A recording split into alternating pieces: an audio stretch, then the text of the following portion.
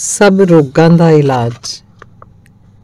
Recce, ਸਪਰਸ਼, ਚਿਕਿਤਸਾ।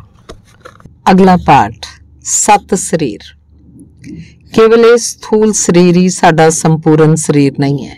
ਸਥੂਲ ਸਰੀਰ ਦੇ ਚਾਰੇ ਪਾਸੇ ਦੋ ਸੂਖਮ ਸਰੀਰ ਹਨ, ਜੋ ਵਿਅਕਤੀ ਨੂੰ ਵਿਖਾਈ ਤਾਂ ਨਹੀਂ ਦਿੰਦੇ, ਪਰ ਉਹਨਾਂ ਦਾ ਵਿਅਕਤੀ ਦੇ ਜੀਵਨ 'ਚ ਸਿਹਤ ਨਾਲ ਗਹਿਰਾ ਸੰਬੰਧ ਹੈ। ਉਹ ਹਨ ਪ੍ਰਾਣ ਸਰੀਰ ਮਨੋਮය ਸਰੀਰ ਇਸ ਤਰ੍ਹਾਂ ਇਹਨਾਂ ਤਿੰਨਾਂ ਸਥੂਲ ਸਰੀਰ, ਪ੍ਰਾਣ ਸਰੀਰ ਮਨੋਮය ਸਰੀਰ ਦੀ ਸੰਤੁਲਿਤ ਹਾਲਤ ਵਿੱਚ ਹੀ ਵਿਅਕਤੀ ਸਿਹਤਮੰਦ ਰਹਿੰਦਾ ਹੈ। ਜੇ ਇਹਨਾਂ ਤਿੰਨਾਂ ਸਰੀਰਾਂ ਚੋਂ ਕਿਸੇ ਇੱਕ ਦਾ ਵੀ ਸੰਤੁਲਨ ਵਿਗੜਦਾ ਹੈ ਤਾਂ ਵਿਅਕਤੀ ਬਿਮਾਰ ਹੋ ਜਾਂਦਾ ਹੈ। ਫਿਰ ਜਦੋਂ ਤੱਕ ਉਹਨਾਂ ਦਾ ਸੰਤੁਲਨ ਸਥਾਪਿਤ ਨਹੀਂ ਹੋ ਜਾਂਦਾ, ਤਦ ਤੱਕ ਵਿਅਕਤੀ ਦਾ ਸਿਹਤਮੰਦ ਹੋਣਾ ਅਸੰਭਵ ਹੈ। ਸ਼ਾਸਤਰਾਂ 'ਚ ਦੱਸਿਆ ਗਿਆ ਹੈ ਕਿ ਸਾਡਾ ਸਰੀਰ ਮਾਤਰ ਇੱਕ ਹੀ ਨਹੀਂ, ਬਲਕਿ ਇਹਦੇ ਇਲਾਵਾ ਕਈ ਸਰੀਰ ਇਸ ਸਰੀਰ ਦੇ ਅੰਦਰ ਸੰਜੋਏ ਹੋਏ ਹਨ। ਇੱਕ ਸਰੀਰ ਦੇ ਅੰਦਰ ਦੂਜਾ ਸਰੀਰ, ਦੂਜੇ ਦੇ ਅੰਦਰ ਤੀਜਾ ਤੇ ਜਦ ਇਹਨਾਂ ਸਾਰੇ ਸਰੀਰਾਂ ਦੀਆਂ ਸੀਮਾਵਾਂ ਨੂੰ ਅਸੀਂ ਪਾਰ ਕਰ ਲੈਂਦੇ ਆ ਤਦ ਬ੍ਰਹਿਮੰਡ ਦੀ ਸਥਾਪਨਾ ਹੋ ਜਾਂਦੀ ਹੈ। ਫਿਰ ਬਾਹਰ ਦੇਖਣ ਦੀ ਕੋਈ ਲੋੜ ਹੀ ਨਹੀਂ ਹੁੰਦੀ। ਭਗਵਾਨ ਸ਼੍ਰੀ ਕ੍ਰਿਸ਼ਨ ਨੇ ਅਰਜਨ ਨੂੰ ਛਾਤੀ 'ਚ ਬ੍ਰਹਿਮੰਡ ਦਿਖਾ ਕੇ ਇਸੇ ਗੱਲ ਨੂੰ ਸਾਬਤ ਕੀਤਾ ਸੀ ਕਿ ਉਹ ਇਹਨਾਂ ਸੱਤ ਸਰੀਰਾਂ ਦੀ ਸੀਮਾ ਤੋਂ ਪਰੇ ਹੈ ਤੇ ਉਹਨਾਂ ਦੇ ਅੰਦਰ ਪੂਰਾ ਬ੍ਰਹਿਮੰਡ ਵਿਆਪਤ ਹੈ। ਇਹ ਸਾਰਾ ਬ੍ਰਹਿਮੰਡ ਅਤਿਅੰਤ ਫੈਲਿਆ ਹੋਇਆ ਹੈ। ਇਹਦਾ ਕੋਈ ਥੋ ਪਤਾ ਨਹੀਂ। ਬੇਹਿਸਾਬ ਬ੍ਰਹਿਮੰਡਾਂ ਨਾਲ ਬਣਿਆ ਹੋਇਆ ਹੈ। ਇਸ ਲਈ ਇਹਦੀ ਸੀਮਾ ਅਪਾਰ ਹੈ। ਇਸ ਲਈ ਰਿਸ਼ੀਆਂ ਨੇ ਇਸ ਮਹਾ ਸੁਨ ਸੰਗਿਆ ਨਾਲ ਸਨਮਾਨਿਤ ਕੀਤਾ ਹੈ। ਅਣਗਿਣਤ ਰਹੱਸ ਛਪੇ ਹੋਏ ਹਨ ਇਸ ਵਿੱਚ ਤੇ ਇਹਨਾਂ ਅਲੱਗ-ਅਲੱਗ ਰਹੱਸਾਂ 'ਚ ਸਭ ਤੋਂ ਵੱਧ ਰਹੱਸਮਈ ਹੈ ਮਾਨਵ ਸਰੀਰ। ਖੁਦ ਕ੍ਰਿਸ਼ਨ ਨੇ ਗੀਤਾ 'ਚ ਕਿਹਾ ਹੈ ਕਿ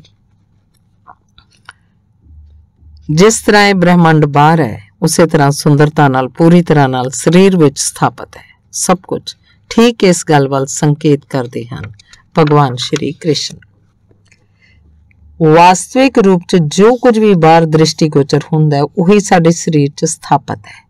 ਜੇ ਬ੍ਰਹਿਮੰਡ ਅਨੰਤ ਹੈ, ਤਾਂ ਸਾਡੇ ਸਰੀਰ ਦੀਆਂ ਸੀਮਾਵਾਂ ਵੀ ਅਨੰਤ ਹਨ। ਵੈਸੇ ਤਾਂ ਕੁੱਲ ਮਿਲਾ ਕੇ ਸੱਤ ਸਰੀਰ ਮੰਨੇ ਗਏ ਹੈ। ਸਰੀਰ ਠੀਕ ਮਾਧਿਅਮ ਹੈ। ਉਹਦੇ ਅੰਦਰ ਸੱਤ ਸੂਖਮ ਸਰੀਰ ਹਨ ਤੇ ਇਸ ਸਰੀਰ ਦੇ ਬਾਹਰ ਆਭਾ ਮੰਡਲ ਦੀਆਂ ਸੱਤ ਪਰਤਾਂ ਹਨ।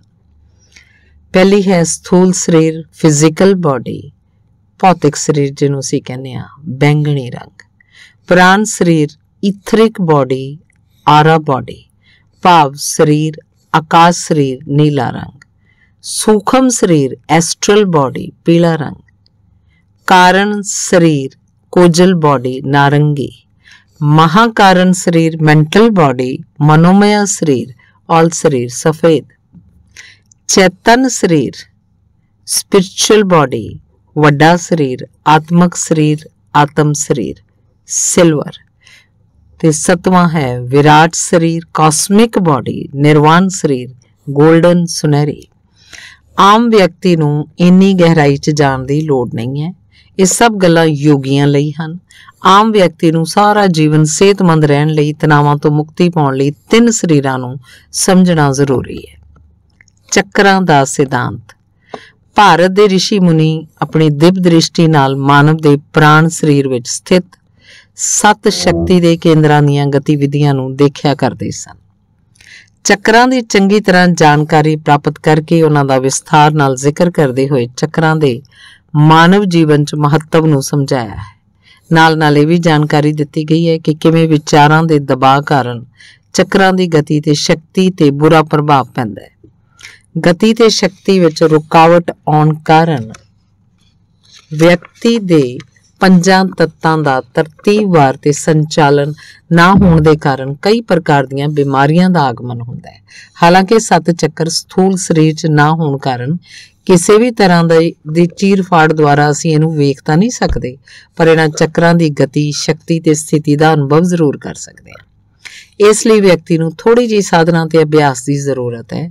ਭਾਰਤ ਦੇ ਰਿਸ਼ੀਆਂ ਨੇ ਇਹਨਾਂ ਸ਼ਕਤੀ ਦੇ ਕੇਂਦਰਾਂ ਯਾਨੀ ਚੱਕਰਾਂ ਦੇ ਸਰੀਰ 'ਚ ਸਥਿਤੀ ਦੇ ਨਾਲ-ਨਾਲ ਕਾਰਜ ਪ੍ਰਣਾਲੀ ਨੂੰ ਵੀ ਸਮਝਿਆ ਜਿਹਦਾ ਇੱਥੇ ਵੇਰਵਾ ਦਿੱਤਾ ਜਾ ਰਿਹਾ ਹੈ। ਪਹਿਲਾ ਹੈ, ਮੂਲ ਚੱਕਰ ਮਤਲਬ ਰੂਟ ਚੱਕਰ। ਆਦਮੀਆਂ ਵਿੱਚ ਇਹ ਅਨੁਤਰਿਕ ਖੇਤਰ ਵਿੱਚ ਤੇ ਇਸਤਰੀਆਂ ਵਿੱਚ ਅੰਡਾਸ਼ਯ 'ਚ ਸਥਿਤ ਹੁੰਦਾ ਹੈ। ਇਹਦਾ ਰੰਗ ਲਾਲ ਹੁੰਦਾ ਹੈ। ਇਹ ਚੱਕਰ ਭੌਤਿਕ ਜੀਵਨ ਸ਼ਕਤੀ ਦਾ ਆਧਾਰ ਤੇ ਉੱਤਰ ਜੀਵਨ ਦਾ ਕੇਂਦਰ ਹੁੰਦਾ ਹੈ। ਇੱਥੇ ਕੁੰਡਲਨੀ ਸ਼ਕਤੀ ਤੇ ਰਚਨਾਤਮਕ ਅਭਿਵਿਅਕਤੀ ਦਾ ਵਾਸਾ ਹੁੰਦਾ ਹੈ। ਭੌਤਿਕ ਸਰੀਰ ਨੂੰ ਜੀਵਤ ਰੱਖਣ ਦਾ ਕਿਰਿਆ ਤੰਤਰ ਇੱਥੋਂ ਹੀ ਨਿਯਮਤ ਹੁੰਦਾ ਹੈ। ਇਸ ਚੱਕਰ ਨਾਲ ਸੰਬੰਧਿਤ ਗ੍ਰੰਥੀ ਅਧਿਵਰਕ ਗ੍ਰੰਥੀਆਂ ਦੇ ਯੌਨ ਅੰਗ ਤੇ ਇਸ ਚੱਕਰ ਨਾਲ ਸੰਬੰਧਿਤ ਅੰਗ ਗੁਰਦੇ, ਮੂਤਰਾਸ਼ਯ ਤੇ ਮੇਰੂਦੰਡ। ਦੂਸਰਾ ਹੈ ਸੁਵਾਦੀ ਸਥਾਨ ਚੱਕਰ, ਹਾਰਾ ਸੇਕ੍ਰੇਟ ਚੱਕਰ। ਇਹ ਚੱਕਰ ਧੁੰਨੀ ਤੋਂ ਕੁਝ ਇੰਜ ਥੱਲੇ ਸਥਿਤ ਹੁੰਦਾ ਹੈ ਇਹ ਯੌਨ ਊਰਜਾ ਦੇਣ ਤੇ ਲੈਣ ਦਾ ਅਹਿਮ ਕੇਂਦਰ ਹੁੰਦਾ ਹੈ। ਇਹਦਾ ਰੰਗ ਨਾਰੰਗੀ ਹੁੰਦਾ ਹੈ। ਇਸ ਚੱਕਰ ਦੀ ਸਹਾਇਤਾ ਨਾਲ ਹੀ ਦੂਜੇ ਲੋਕਾਂ ਦੀਆਂ ਭਾਵਨਾਵਾਂ ਨੂੰ ਮਹਿਸੂਸ ਕੀਤਾ ਜਾ ਸਕਦਾ ਹੈ। ਇਸੇ ਲਈ ਇਹਨੂੰ ਵਧੇਰੇ ਸੰਵੇਦਨਾ ਦਾ ਕੇਂਦਰ ਵੀ ਕਿਹਾ ਜਾਂਦਾ ਹੈ। ਇਸ ਚੱਕਰ ਨਾਲ ਸੰਬੰਧਿਤ ਗ੍ਰੰਥ ਜਨਨ ਗ੍ਰੰਥੀ, ਇਸ ਚੱਕਰ ਨਾਲ ਸੰਬੰਧਿਤ ਅੰਗ ਜਨਨ ਅੰਗ ਤੇ ਟੰਗਾ ਹਨ। ਤੀਸਰਾ ਮਨੀਪੁਰ ਚੱਕਰ। ਇਹ ਧੁੰਨੀ ਤੋਂ ਥੋੜਾ ਉੱਪਰ ਵੱਲ ਨਿਚਲੀਆਂ ਪਸਲੀਆਂ ਦੇ ਵਿਚਕਾਰ ਸਥਿਤ ਹੁੰਦਾ ਹੈ। ਇਹਦਾ ਰੰਗ ਲਾਲ ਹੁੰਦਾ ਹੈ। ਇਹ ਸਰੀਰ ਦਾ ਅਸਲ ਕੇਂਦਰ ਹੁੰਦਾ ਹੈ। ਇਸ ਸਥਾਨ ਤੋਂ ਊਰਜਾ ਦੀ ਵੰਡ ਹੁੰਦੀ ਹੈ। ਇੱਥੇ ਹੀ ਭਾਵਨਾਵਾਂ, ਲੋਭ, ਕ੍ਰੋਧ ਆਦਿ, ਸ਼ਕਤੀ ਦੀ ਪ੍ਰੇਰਣਾ ਤੇ ਬੁੱਧੀਮਤੀ ਮਤਾ ਦਾ ਵੀ ਕੇਂਦਰ ਹੁੰਦਾ ਹੈ। ਇਸ ਚੱਕਰ ਨਾਲ ਸੰਬੰਧਿਤ ਗ੍ਰੰਥੀ ਅਗਨਾਸ਼ਯ ਇਸ ਚੱਕਰ ਨਾਲ ਸੰਬੰਧਿਤ ਅੰਗ ਅਮਾਸ਼ਯ, ਯਕਰਤ ਤੇ ਪਿੱਤਾ। ਤੇ ਚੌਥਾ ਹੈ ਹਿਰਦੇ ਚੱਕਰ। ਹਾਰਟ ਚੱਕਰਾ। ਇਹ ਛਾਤੀ ਦੇ ਵਿਚਕਾਰ ਸਥਿਤ ਹੁੰਦਾ ਹੈ। ਇਹਦਾ ਰੰਗ ਹਰਾ ਹੁੰਦਾ ਹੈ। ਇਹ ਅਸਲ ਤੇ ਨਿਸਵਾਰਥ ਆਕਰਸ਼ਣ ਕੇਂਦਰ ਦੇ ਨਾਲ-ਨਾਲ ਮਮਤਾ, ਅਧਿਆਤਮਕ ਵਿਕਾਸ, ਕਰੁਣਾ, ਸ਼ਰਧਾ ਤੇ ਪ੍ਰੇਮ ਦਾ ਵੀ ਕੇਂਦਰ ਹੁੰਦਾ ਹੈ। ਸਾਡੇ ਵਿੱਚੋਂ ਬਹੁਤੇ ਲੋਕ ਇਸ ਚੱਕਰ ਦੇ ਉਪਚਾਰ ਦੀ ਲੋੜ ਅਨੁਭਵ ਕਰਦੇ ਹਨ।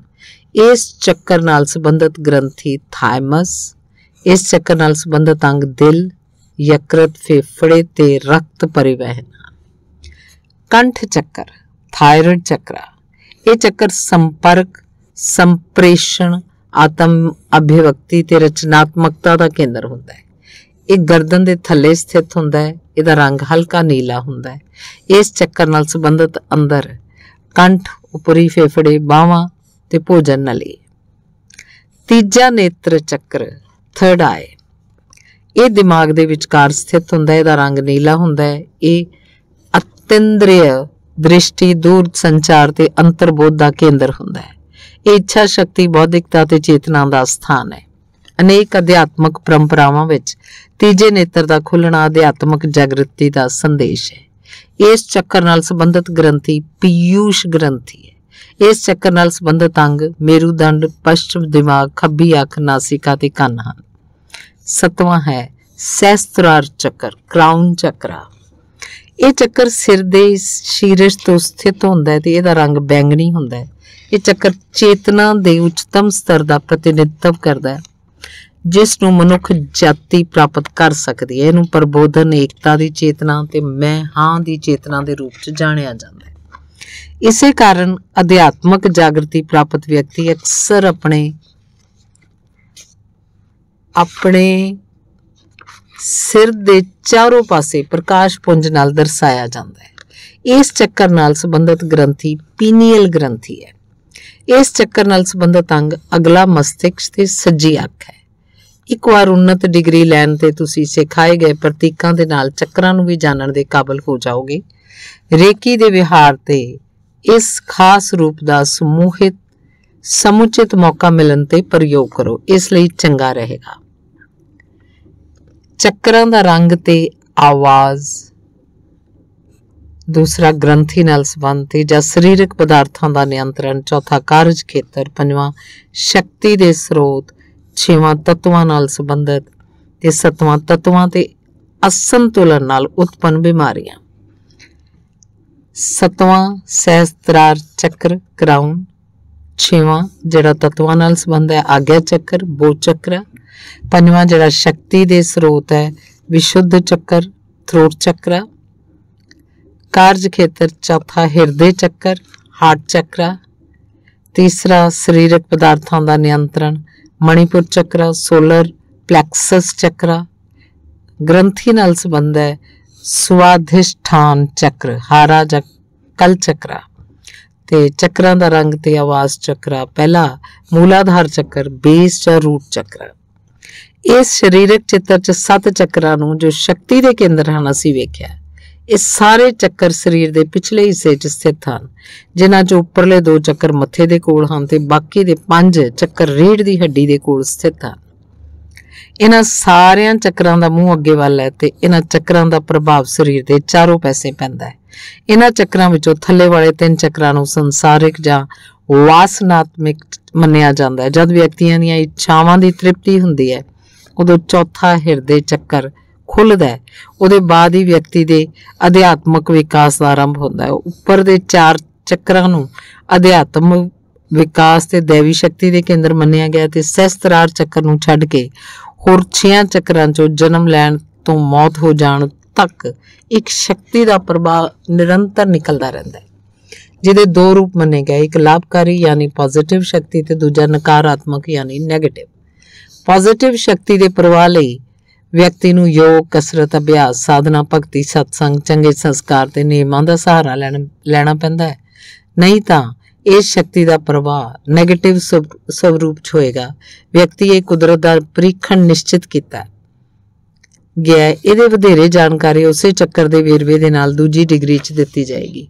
ਚੱਕਰਾਂ ਦੇ ਰੰਗ ਦਾ ਅਰਥ ਅਸਰ ਉਹਨਾਂ ਨਾਲ ਸੰਬੰਧਿਤ ਗ੍ਰੰਥੀਆਂ ਉੱਤੇ ਦਿਖਾਈ ਦਿੰਦਾ ਹੈ। ਧੰਨਵਾਦ।